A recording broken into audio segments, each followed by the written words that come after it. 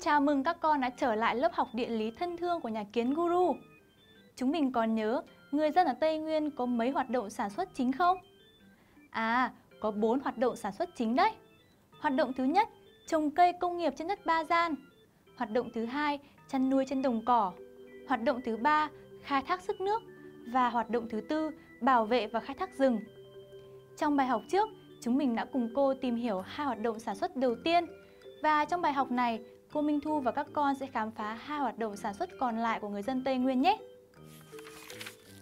Khai thác sức nước là một trong những thế mạnh của người dân ở Tây Nguyên.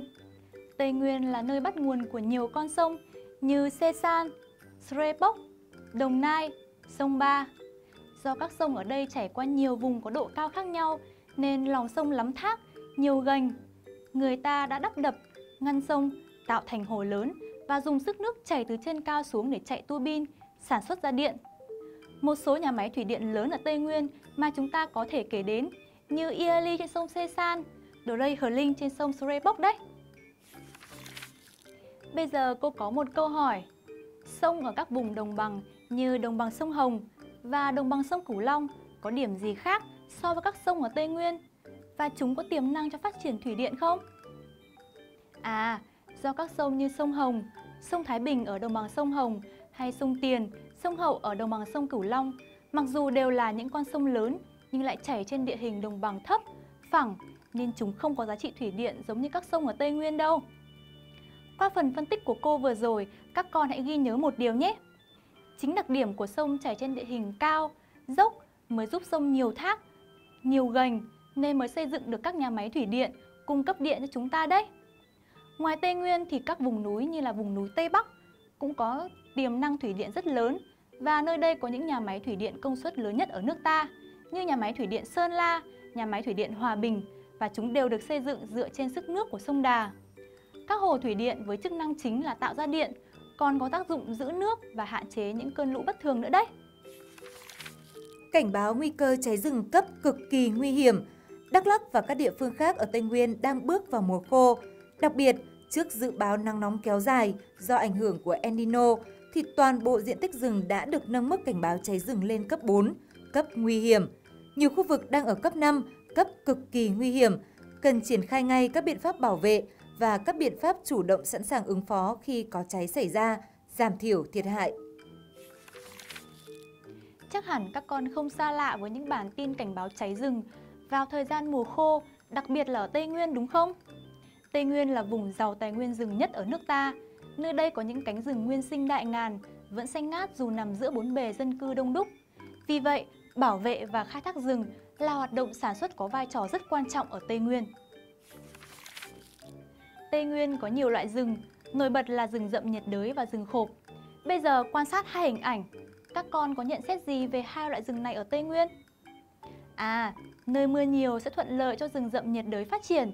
Rừng này có cấu trúc tầng tán từ 3 đến 5 tầng, rất rậm rạp. Còn nơi mùa khô kéo dài lại xuất hiện rừng rụng lá mùa khô với cái tên khá đặc biệt là rừng khộp hay là rừng khộc.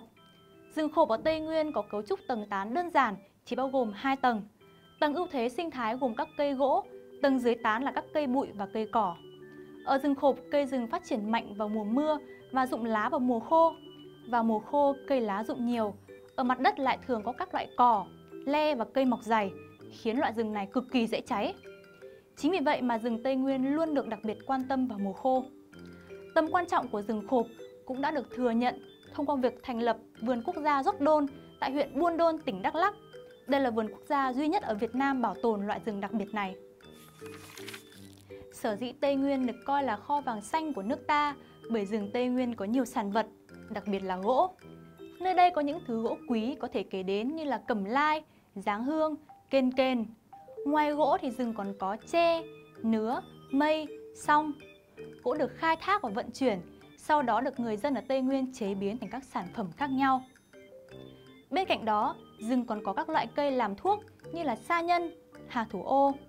Và đặc biệt, Tây Nguyên được đánh giá là xứ sở của nhiều loài thú quý như là voi, bò rừng, tê giác, gấu đen. Rừng đem lại nhiều lợi ích, vì vậy chúng ta cần phải bảo vệ và khai thác hợp lý. Tuy nhiên hiện nay diện tích rừng của Tây Nguyên đang giảm dần. Vì sao lại dẫn đến tình trạng đó nhỉ? Nguyên nhân là do việc khai thác rừng bừa bãi, đốt phá rừng làm nương rẫy, mở rộng diện tích đất trồng cây công nghiệp không hợp lý hay tập quán du canh, du cư của các đồng bào dân tộc. Diện tích rừng mất đi đã gây nên nhiều hậu quả nặng nề như là xói mòn đất, gia tăng hạn hán, lũ lụt, từ đó làm ảnh hưởng xấu đến môi trường và sinh hoạt của con người. Trước tình trạng đó, nhà nước đã và đang có nhiều biện pháp để khắc phục như trồng rừng hay tạo mọi điều kiện để đồng bào định canh, định cư, ổn định cuộc sống và phát triển sản xuất. Như vậy là chúng ta đã hoàn thành việc tìm hiểu 4 hoạt động sản xuất chính của người dân ở Tây Nguyên rồi. Trên các cao nguyên ở Tây Nguyên có những vùng đất ba gian rộng lớn được khai thác để trồng cây công nghiệp lâu năm như là cà phê, cao su, hồ tiêu, chè và có nhiều đồng cỏ thuận lợi cho việc chăn nuôi trâu, bò. Ở Tây Nguyên, sông thường nhiều thác gành là điều kiện thuận lợi cho việc sử dụng sức nước làm thủy điện. Rừng ở Tây Nguyên có nhiều gỗ và các lâm sản quý khác. Chúng ta cần phải bảo vệ, khai thác hợp lý và trồng lại rừng ở những nơi đất trống, đồi trọc Bài học sau chúng ta sẽ được du lịch tới một thành phố rất xinh đẹp ở Tây Nguyên đấy. Đố con biết là gì? À, đó chính là thành phố Đà Lạt. Chúng mình hãy cùng đón chờ bài học tiếp theo nha. Cô Minh Thu xin chào các con.